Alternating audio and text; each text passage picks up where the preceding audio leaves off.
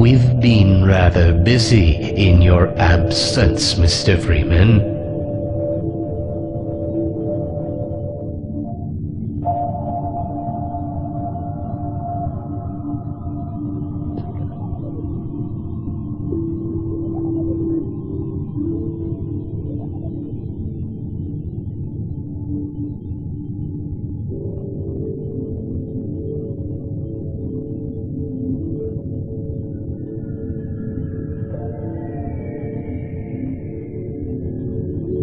Pay attention, Mr. Freeman. I'm only going to say this once.